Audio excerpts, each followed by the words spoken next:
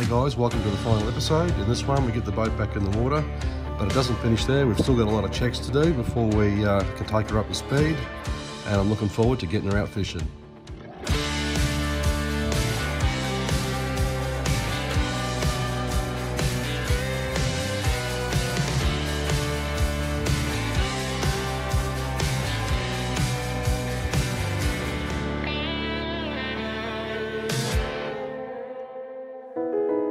Day three today.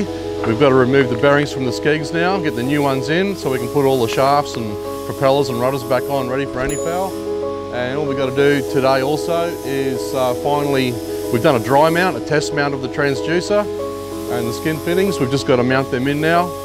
And uh, yeah, that's most of our jobs done while it's out of the water. So uh, we should have it back in the water on Monday. Uh, so we're installing the live view transducer. Um, so it requires a 30mm hole drilled through the bottom of the boat and a couple of locating studs. So we're just putting a big hole through now and hopefully get it in the right place. Yeah, it's uh, definitely a measure twice, three times, four times, five times, and then uh, yeah, you only get one go at this.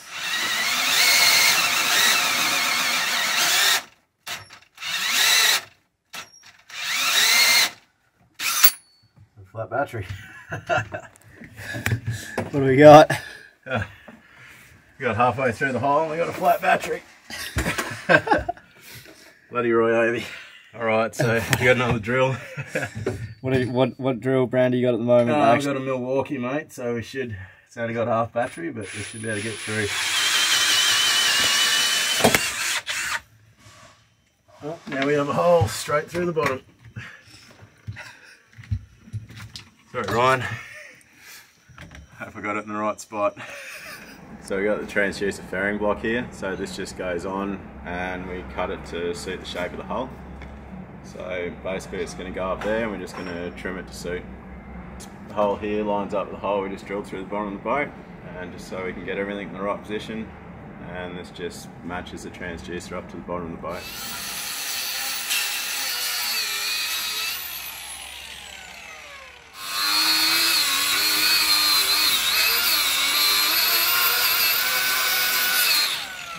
So we're mounting the transducer now. We've um, just added all the uh, the goop we needed and Sam's up there tightening up the top bolts, get it up nice and firm. Uh, we've, we put all the uh, Sikaflex between the transducer and the fairing block and a big heaper on top of the fairing block to go up onto the hull. So once that pulls up tight, it'll just spread it everywhere and squirt it out the sides. Uh, we're just tightening up the transducer. Um, putting the nut on um, yeah, just getting all the Sika to, to squeeze out. How's that, Ryan? How, how's that looking now? Yeah, good, uh, yeah, we got the transducer in. I've just got to clean up a bit of that um, sticker that's oozed out, make a nice little bead out of it, and uh, hopefully she'll show us any dangers in front of us from here on in. Uh, here we've got 10 ton porta power. Hopefully this will uh, pop the coupling off. Fingers crossed. No, the porta power won't fit in here. We're going to need a different puller, unfortunately. So, just missing out by a little bit. Um, and try and take this flexible coupling off and um, see if we can get it to fit with that. So, more work. Trying to get right size Allen keys, uh, a socket fitting that'll fit into a certain size area. Um, we've found a way around it, but yeah, it's all these little tiny things that just keep popping up. Bloody boats, I tell you.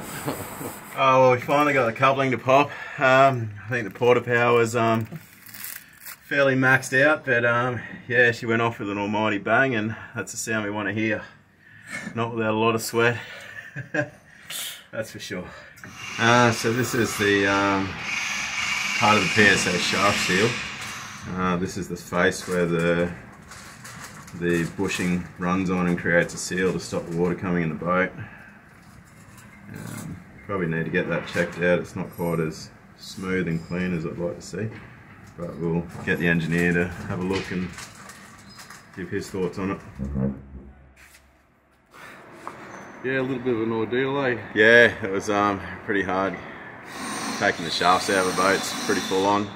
Uh, never really goes easy, but anyway, we got the port side one out, and now we'll get stuck in the starboard side one. It means going to replace the, the cutlass bearings. Uh, it's day five. We got a few things done over the weekend, like we got all uh, the shafts put back in, all the couplings bolted back up tight. Uh, we got the rudders back in again and repacked all the glands, the rudder glands as well while they were out. And uh, so yeah, on today we're just going to do a few other little things like uh, replace all the anchor chain. Uh, the, the, three days didn't come quite to fruition. Um, like I said, when we pulled it out, we had we found the cutlass bearings needed replacing, uh, or they're pretty much due anyway. So yeah, it ended up blowing out just a little bit, but I'm pretty happy with uh, what we got achieved anyway. This morning we've just got 70 metres of 3/8 short link um, to go through the winch, some new chain, uh, we've marked it as we uh, every 10 metres, um, different colours, and of course we've marked um, the last three metres in multicolours with the cable ties. It's okay to put the cable ties on there, as long as they're a bit loose, they pass through the winch okay, without busting off and polluting the ocean. So that's what we've done this morning.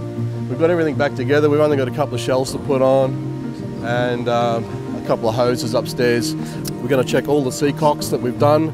We're going to check every single hose clamp on the boat. That's one of the most important things. Some people skimp on really cheap hose clamps, as we found out with some of our seacocks. Um, but that's all been rectified now, and yeah, we're just going to replace a few hoses while we're at it, and just make sure the boat's nice and secure, nothing's going to leak. And then when we get it back in the water, uh, around one o'clock today, we're going to be letting it sit in the water for a while. We're going to check the rudder glands, uh, that we replaced. We're going to check all the glands throughout the boat along the shafts. It's been a lot of hard work. Uh, both Sam and I got the flu on the last two days, so working with the flu is no fun. Um, I'm just yeah, excited to get it back in the water because we've got some pretty um, awesome things happening this year. Uh, got a few new techniques we want to try out on the small black and just out the front of home here in Cairns. Uh, so I'll be looking forward to getting into a lot of that kind of thing this year looks beautiful. They have done such an amazing job. It was supposed to be a three day job as usual. They find heaps of other stuff wrong once you pull her out of the water. But um, here she is back and ready to go on some amazing trips. Hope you enjoyed the video guys. If you'd like to see more, subscribe to our YouTube channel, like us on Facebook and Insta, and if you only want some special tips we send out by email only, head on over to ryanmoodyfishing.com and sign up for free email updates. Get into the great outdoors, keep fishing smarter, we'll see you next time.